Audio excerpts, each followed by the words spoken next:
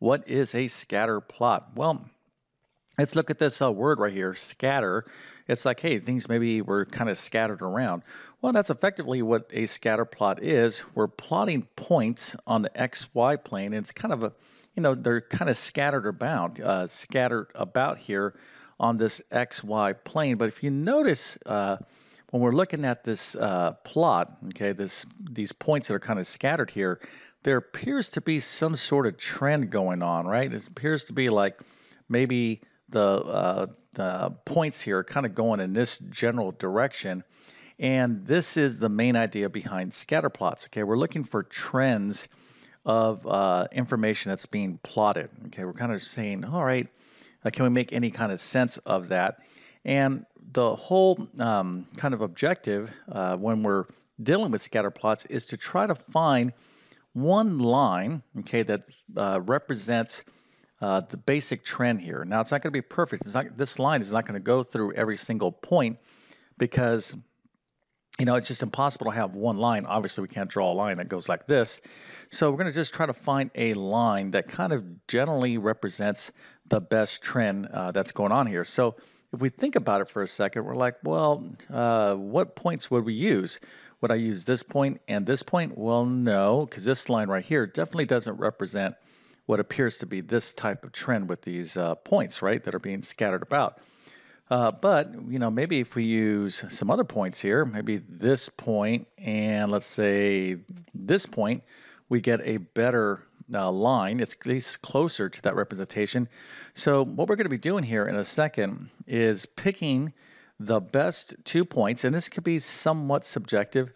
Uh, in other words, uh, one student could pick uh, one set of points, another student could pick another set of points, but we're going to want to pick the best two points such that if we draw a line to those through those exact uh, two points on this plot, this scatter plot, uh, that would you know best represent the line. That's the best fitting line, not the perfect fitting line.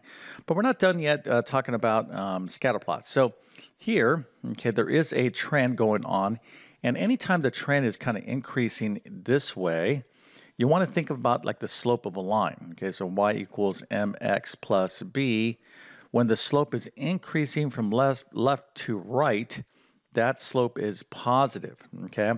Well, we don't call uh, this uh, plot here having a positive slope because there's multiple little uh, plots on this particular, it's a scatter plot, it's not just two points.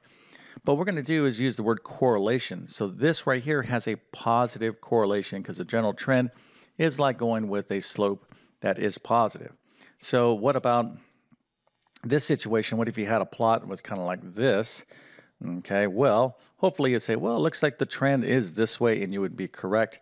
So that is what we call a negative uh, correlation. Okay, so that scatter plot has a negative correlation.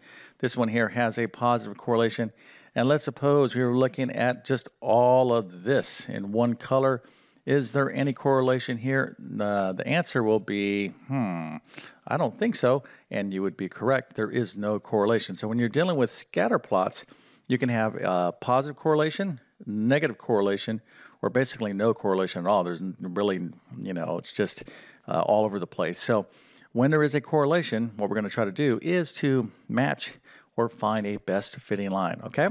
So that's kind of the setup here, and let's go ahead and put some coordinates on this uh, example problem. So what I'd like you to do, if you kind of want to play along here, is to identify, okay, two points such that if you drew a line uh, through those respective points, it would kind of best fit, uh, you know, this pattern here, okay? So again, the general pattern, if you look at it, you know, tends to kind of, it's kind of going like in this uh, direction. So pick two points, okay? You don't have to actually find the equation line. Matter of fact, if you want to do it though, put your final answer into the comment section. That would be awesome. But um, anyways, pick uh, two points that you think such that you drew, if you drew a line uh, through those two points would best represent the trend here, okay, the plot. All right, so let's go ahead and answer um, this question, okay, by the points that I'm going to actually select. And again, this could be somewhat subjective. So I'm going to choose to use 3, uh, 7, that coordinate, this point here, and this point down here, negative, uh, 5, negative 3. Of course, these are just kind of um, rough estimates on this little, I kind of freehand this here, it's not graph paper. Uh, so it doesn't have to be perfect. But let's say you use this point and this point. Okay, that's not too bad.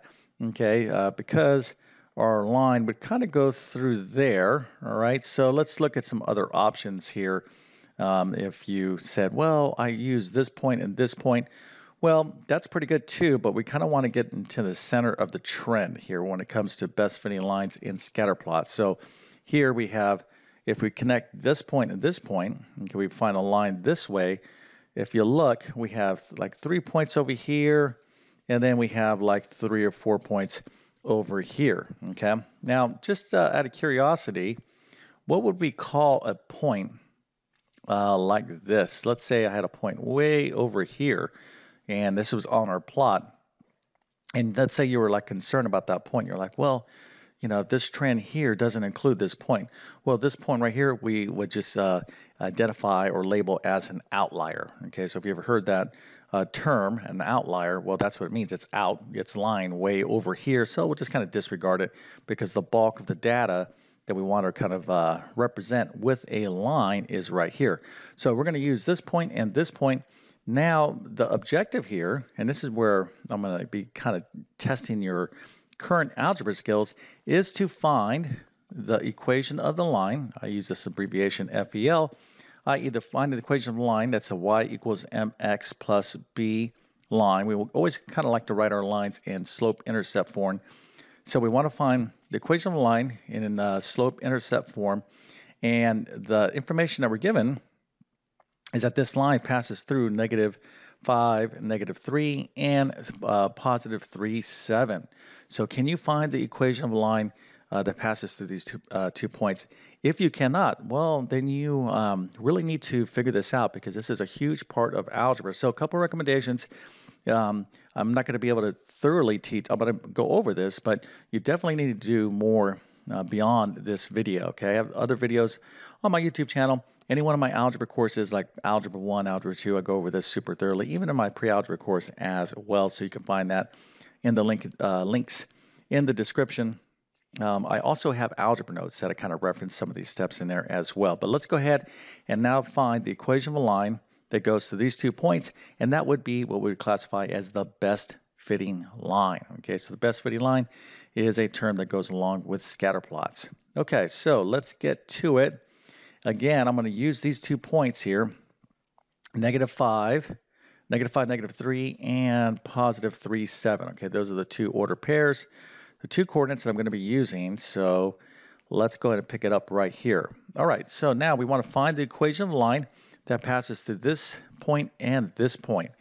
So when we find the equation of a line, okay, to find the equation of a line in algebra, and what we're looking for, again, is this y equals mx plus b form. Okay, this is such a great little form to write lines or linear equations in. So we're looking for uh, this form of a line that passes through these two points.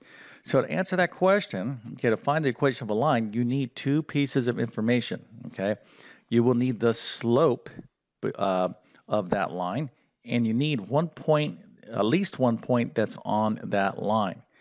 Well, right now, currently, uh, we don't have the slope. We don't know that, but we have two points that are on the line. Okay, so we need at least one. We happen to have two, but we don't have the slope. So what we're going to have to do is to use our two points to calculate the slope. So you can always calculate the, slope, the slope if you are given uh, two ordered pairs. So this is what we want to do first. So go ahead and see how well you are with these other um, uh, very important algebra skills. Can you calculate the slope between these two points? If you can't, uh, it seems to me that you need to kind of brush up uh, and get up to speed on linear equations and algebra. If you don't know this stuff, it's going to be really difficult to pass your algebra course. Okay, so just make note of what you know and don't know and uh, review what you need to review. All right, so let's go ahead and find the slope between these two points. And again, I have tons of videos on all this stuff if you need to uh, look at it uh, more thoroughly. But here I'm going to go ahead and when I teach finding the slope, I like to underline one point. Now, the slope of a line is the rise over the run, if you recall. Okay, hopefully you remember that. But the rise is the changes in the y coordinates. These are the y's. Remember, we're talking about x, y points here. So these are the y's, and the run is the differences of the x coordinates. These are the x coordinates right there. Okay, these are the y's. So hopefully this makes sense to you. So let's go ahead and find the slope. All right, so I'm going to go ahead. I, when I find the slope, I like to underline a point to um, prevent making a mistake. You need to watch some of my videos on slope or check out my full algebra course because a ton of students make a ton of mistakes. They're really um, uh, you know, it's a common error in algebra to uh, calculate the slope incorrectly. You have to be very, very uh, careful on the order. Okay, so here I'm going to take the differences of the y's. I can either go negative 3 minus 7 or 7 minus, uh, a negative 3. Okay, I'm going to go negative 3 here minus this 7. Okay, remember you find the differences. Now, because I started with this negative 3 right there, when I go to find the differences of x's, my first x, okay, remember my first y here, it was negative 3. It came from this ordered pair. So my first x has to come from this ordered pair right here. So that's negative 5 minus this 3 right there, okay? And what students do is they mess up these orders. They don't think that order makes a difference and they get the wrong slope. Believe me when I'm telling you, I've been teaching this stuff for decades. I probably graded over 10 million quizzes, tests, homework. Well, maybe not that much, but you get the idea. So I see all the mistakes. So don't make these mistakes, okay? All right, so let's go ahead and continue on. So we have negative 3 minus 7. That gives us negative 10. Minus 5 minus 3 is negative 8. And a negative over negative is positive. I reduce that fraction. I get 5 over 4. So my slope is 5 over 4. Okay, so a lot going on in this problem, but if you were able to do this, well, let me go ahead and give you a nice little lovely happy face for being an excellent math student, but we are not done yet. Okay, so let's go ahead and continue the process here. So again, we need to still find the equation of a line that passes through these two points. And to find the equation of a line, we needed uh, the slope and at least one point. So now we have the slope. The slope is 5 over 4, so that's good.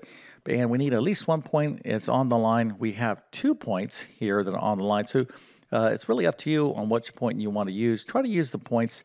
Uh, try to select the uh, ordered pair that is a little bit easier. You know, here it's kind of a toss-up, but I'm going to go ahead and use 3, 7. Okay, again, I could use this point as well with this slope. I'll get the same answer. But I'm going to use uh, 3, 7 and 5 over 4. Of course, that's our slope. Uh, to find the equation of line. Now, you have additional options. Once you have a point and the slope, you can use either the slope intercept formula, y equals mx plus b, to find the equation of a line or the point slope formula. I really, really love this formula. I'm going to suggest that you always use the point slope formula uh, for most problems when uh, you are trying to find the equation of a line. So if you think you can use this, go ahead and pause the video and see if you can do the do this. I think that's the best use of watching this video. But let's go ahead now and use the point slope formula with this information to find the equation of the line. All right, so here we go. Okay, so here is our point slope formula. Again, these are all dedicated videos, dedicated lessons in my, all my algebra courses. So if you're not understanding stuff, you need to do more review beyond this uh, video. All right, so we're going to be plugging in for this y right here. This is our y coordinate, so we're going to replace this with this. m is our slope. Okay, so we'll replace the m with uh, 5 over 4. And then this x, this is our x right there. Remember, we're talking about xy ordered pair, okay? So let's go ahead and plug in the respective values for y. We plug in 7. For the m, we're going to plug in the slope, 5 over 4. And then this for, for uh, this x here, we'll plug in 3. All right, so at this point, it's just a matter of doing algebra, which of course I know you're totally up to speed on. We're just going to uh, go ahead and solve for y or clean this up. So the first thing we want to do is the distributive property. So 5 fourths times x is 5 fourths x. And then 5 fourths times 3 is going to be what? That's going to be uh, 15 over 4. All right, hopefully you know how to multiply fractions. If you don't know how to deal with fractions, again, I have tons of stuff on this on all my channels, but make notes of what you not, you're kind of a little bit shaky on. That's why you have to do these problems on your own watching me do it isn't going to be good enough. Be like, okay, I know this, I don't know that. All right, so now we have y minus 7 equal to 5 over 4x minus 15 over 4. So what do we want to do? We want to solve for y. So I need to add 7 to both sides of the equation. So that's going to be y equals 5 fourths x minus 15 fourths plus 7. So now I have a lovely opportunity to add some fractions. Okay, again, a skill that uh, you're going to know how to deal with, but let's go ahead and show you that right now. Okay, so I need to figure out uh, negative 15 force plus 7 or 7 over 1. Uh, I can write 7 over 1. I need to get the same denominator, so I can multiply this by 4, this by 4. There's other there's another easier way to do this called the bow tie method. Uh, that particular, I have uh, one of my videos on my YouTube channel has I, all my fraction videos. I think have two, three million views. So there's a lot of people that struggle in fractions. So if you need to review, review. All right, so I can write seven over one or uh, seven as 28 fourths. So now I get the same denominator. So I have negative 15 plus 28. A negative 15 fourths plus 28 over 4 is going to be 13 over 4. So now I went ahead and I simplified it by adding these two fractions. I have 13 over 4. Here's my slope. So y is equal to 5 fourths x plus 13 fourths. What did we just do? Well, we just found the equation of line that went through those two coordinates, but this is the best fitting line. Not the perfect fitting line, just the best fitting line. So let's go ahead and wrap it up by looking at our uh, scatter plot. And I kind of took out these other coordinates here. So we use this coordinate and this coordinate. This we use 3, 7, negative 5, negative 3 and, you know, when we drew a line through it, we thought that it, you know, at least for me, you know, it uh, represented the trend, the scatter that's going on here in the best way. Okay. It's not going to be perfect again, it's going to be the best. And so this is the linear equation, okay, of this best fitting line. So this is uh, effectively it, okay, scatter plots and best fitting lines. You absolutely need to know how to deal with this and um, additional stuff in algebra. But you can see here we, we used quite a bit of different skill sets. Um, you know, how to find the slope, how to use the uh, point slope formula, etc., etc. So, you know, um, algebra is you know a continuum right it's connected one skill there is no such thing as something that you kind of just can disregard so if you're having trouble with anything the smartest thing you can do is to identify uh, what you uh, need help in and then go back and relearn that. Okay, and that's where I can help you out. So again, if you need additional help on any of these topics, I have tons of videos on my YouTube channel. Teach this uh, super thoroughly in all my algebra courses, and I do offer algebra notes as well. You can find links to all that stuff in the description of this video. But uh, with that being said, I definitely wish you all the best in your mathematics adventures. Thank you for your time, and have a great day.